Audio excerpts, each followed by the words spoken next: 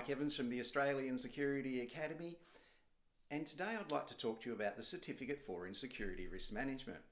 The Certificate IV in Security Risk Management is a management level qualification and is what is required for the 2A consultant's licence in New South Wales or for a security firm's licence in Victoria.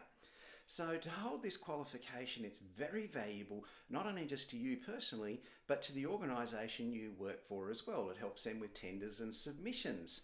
So people that hold the certificate IV in security and risk management, they go out and do security risk assessments on behalf of corporations, government, the finance industry, retail. It doesn't matter what the industry is, they all have security risk assessment today. Why do they do that? Because we live in an environment where reputational risk is paramount and compliance is very important.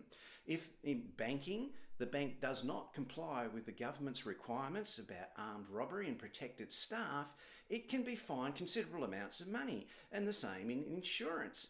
Um, any area that's vulnerable to attacks by armed robbers or people who want to harm staff or um, gain an advantage by uh, whatever they do, they will require in that industry protection against that.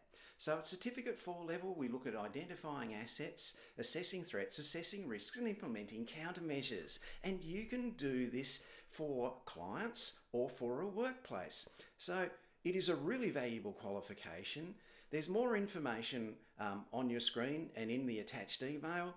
If you want to study security risk assessment and move your security career ahead, get in touch with me. The contacts are on the screen. I'm Mike Evans from the Australian Security Academy.